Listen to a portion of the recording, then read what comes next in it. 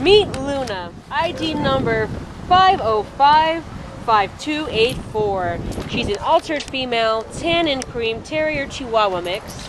She's about seven years old and came into the shelter as an owner surrender on April 29th because of landlord issues. She has a little fox face and she's a cute little devil. Uh, weighing 9 pounds, and she actually came in with another dog, Chapo.